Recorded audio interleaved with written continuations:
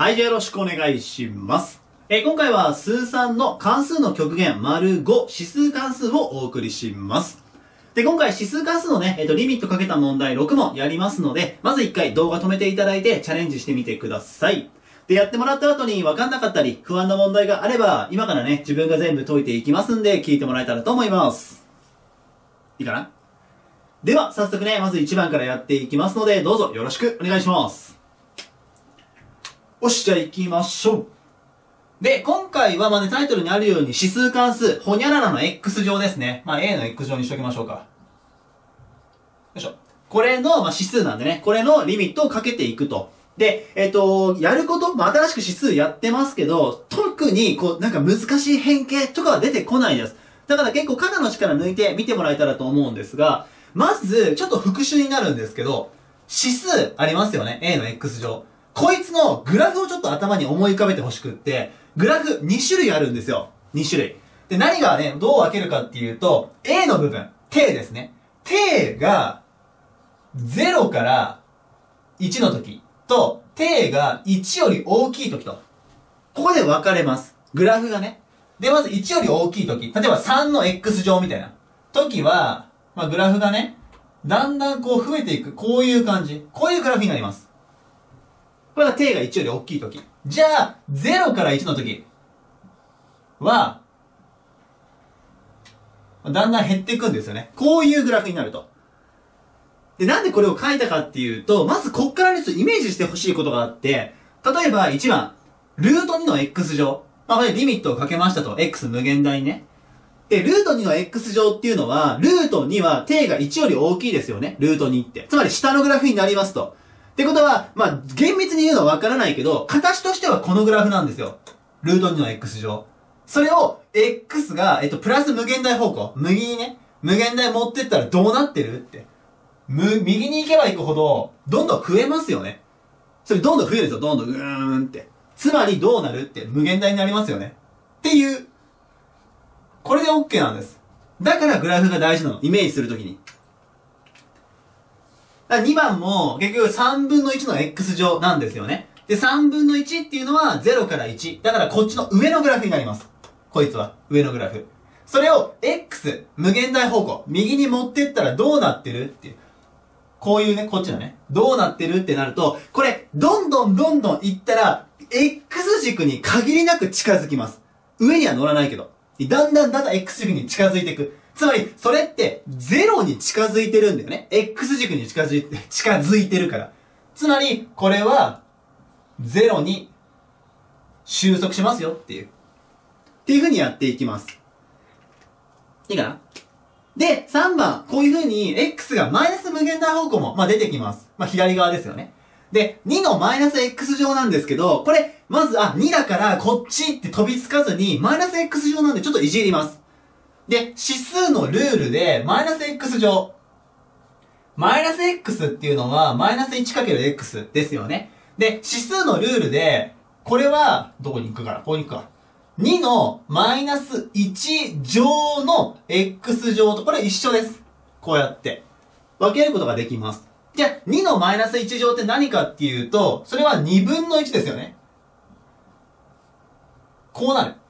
つまり、これは、リミット x マイナス無限大方向の2分の1の x 乗っていう風に聞かれてる。だから、今2分の1なんで、こっちじゃなくって、こっちのグラフです。上の。これね。グラフになりますと。で、それをマイナス無限大方向だから、左に行けば行くほどどうなってるって。行けば行くほど上がっていくよね。だから、これの答えは、無限大、プラス無限大ですよっていう。まあこんな感じで、まあ、上の3問に関してはね、グラフを使ってやってください。もし忘れちゃったらね、こう、グラフを思い出してもらえれば、だいどっちに行くってんで、できますんで。いいかな？では、4番、5番、6番に関してはちょっと変形が必要になります。で、まあ、この分数の形はね、今までもよく出てきました。まあ、指数はね、まだ出てきてないんだけど。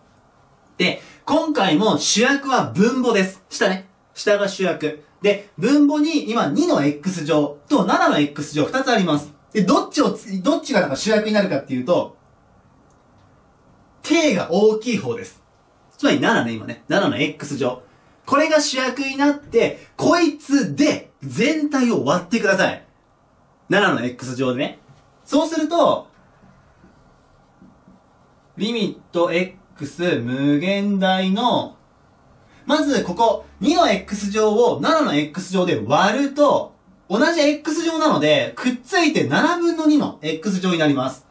で、プラス、こいつは1ですね。で、これも同じです。くっつくと7分の5の x 乗マイナス1とこうなります。で、さっきの、まあ、上の問題に話を戻すと、7分の2、7分の5、こいつらは両方とも0から1の範囲に入ってます。だから、リミット x 無限大に持っていくと、0に収束するんですよね。まあ、これと同じです。これと。だから、この2つは0と同じって考えることができるので、結局、1分のマイナス1が残るから、これはマイナス1に収束っていう。これが答えになります。まあ、似たような変形やってきましたからね。で、次は分数ではないんですが、ちょっとね、消すやつなかった。こういう、まあ5番6番似てますけどね。こういう風になったら、えー、っと、手が大きい方、まあ大きい方なんで今度は3ですよね。こっちを使ってください。まあ、使うというか主役で考えてもらって、何をするかっていうと、くくり出します。くくり出す。つまり、リミット x 無限大の3の x 乗を前にくくり出してもらって、中括弧。2の x 乗から3の x 乗をくくり出すと、3分の2の x 乗になります。で、こいつから出すと、そのまま1が残りますよって。全部出してるからね。これが変形です。で、もしちょっと3分の2の x 乗とかピンと来にくかったら、3の x 乗をもう一回分配したときに、この形に戻るのはどうやればいいかなって考えるとピンときやすいかもしれないですね。まあ、変形するとこうなります。で、これに x 無限大のね、リミットをかけると、こいつ、プラス無限大ですよね。これ。で、こいつは3分の2なんで、こいつ0に収束です。つまり、無限大かける0マイナス1なんで、マイナス1。無限大かけるマイナス1なんで、結局、マイナス無限大。これが答えになります。いいかな？まあ、くく、おと、大きな、手が大きい方でくくり出しましょうっていう感じ。だからその流れでいくと、6番もね、まあ、同じようになってて、手が3と2なんですよね。この瞬間見た感じだと。よし、じゃあ3の x 乗でくくり出すかって行きたくなるんですが、えー、この部分、2の 2x プラス1乗。まあ、これちょっとややこしくなってるので、こいつを整理します。まず、まあ、整理が変形させます。で、これも指数のルールを使うと、こいつね。まず、えー、っと、2の 2x 乗かける2。まあ、2の1乗、一応書いておくまあ、こう分けれますと。2x プラス1乗分けるとね、こうなる。で、2の 2x 乗も、えー、っと、2の2乗かける x 乗かける2と、まあ、こう変形できます。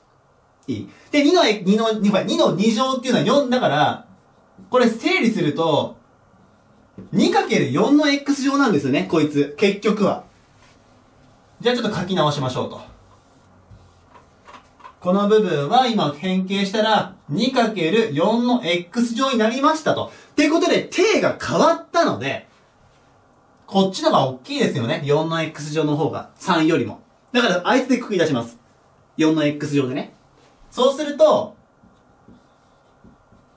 リミット x、えー、無限大、4の x 乗中括弧、こいつから出すと、4分の3の x 乗マイナス2中括弧閉じとこうなります。